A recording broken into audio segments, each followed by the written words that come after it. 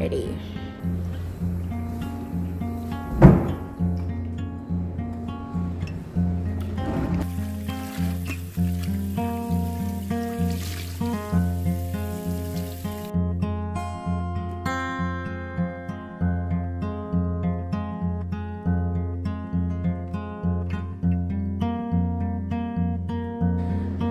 Okay, I got slightly um, derailed because I'm taking as a coffee.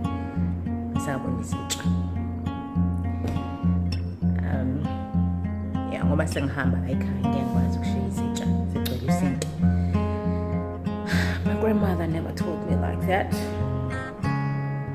Okay, so now I'm gonna make breakfast because I'm hungry.